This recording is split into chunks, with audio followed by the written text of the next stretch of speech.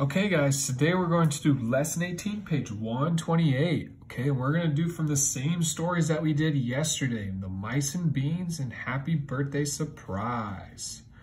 Okay, so remember we need to turn our listening ears on. Our mouths are quiet and our eyes are focused. Okay, we're listening so we can answer our questions at the end. Okay, so Mr. Gilbert's going to read mice and beans first pages 26 to 29. Okay? After everyone had gone, Rosa Maria tidied her kitchen and thought, thought about the fiesta. She pictured the happy look on little Catalina's face when the candy spilled from the pinata, but Rosa Maria still couldn't remember when she had filled it. No importa, she said, it was a wonderful day. But as Rosa Maria swept out the cupboard, she discovered the telltale signs of mice. Raton, she cried, where are my mouse traps? I will set them all. She inched to the floor, and when she did, something caught her eye. She looked closer. Maybe I didn't fill the pinata, she thought. Was it possible? she asked, shaking her head. Could I have had help? Rosa Maria looked at the leftovers, too much for one person. And what and what was it her mother had always said? When there's room in the heart, there's room in the house, even for a mouse. Imagine that, she said. I remembered the words. Wrong all these years. Besides, how many could there be? Two? Four? No, Importa, she said. It doesn't matter if a few helpful mice lived here too. Then she turned off the light and went to bed. And she never set another mouse trap again. Okay, so did the mice help her fill the pinata? Because Rosa Maria said she didn't fill it. So they must have helped her fill the pinata. Okay? So did they? Did the mice help her fill the pinata? Yes, yes they did. I think we remember that doing that last week. Okay? And in the happy birthday surprise, okay?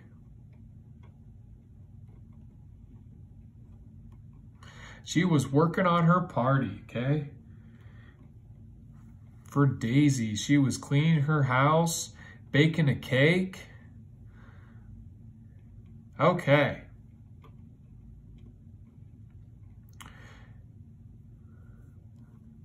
And all of a sudden, Abel kept trying. His face got hot. His whiskers twitched. Hello, is anyone home? Abel's friend Chester had arrived. What are you doing here so early? asked Abel. I came to help you get ready. Abel asked, What makes you think I need help? asked Abel. He felt a little embarrassed that he was so far behind. Chester looked around. The house was still a mess. Just a wild guess, he said. What's that burning smell? Oh no, cried Abel. He rushed in the kitchen. Smoke was pouring from the oven. This is terrible. The cake is ruined. Don't worry, said Chester. We still have time to make another. Why didn't you ask me for help earlier? I thought if I I thought I could do everything myself. Well, said Chester, I hope you know better now. Abel added, nodded. From now on, I always ask for help when I need it. Surprise birthdays are a lot of work, said Chester. Abel smiled, and that was a real surprise for me. Okay? So Chester came to help Abel, even though Abel didn't, didn't ask for help. But Abel learned that he will always ask for help from when he needs it from now on. Okay?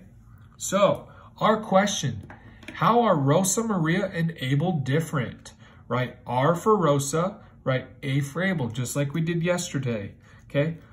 Who finds out that mice helped her? Rosa or Abel?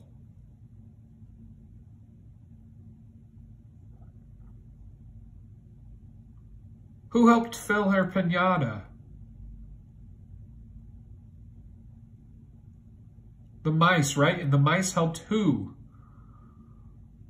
Rosa, good. So we need to put a R, okay? And then that means Abel learns to ask for help okay? How are Rosa Maria and Abel similar? What do they both learn about getting help?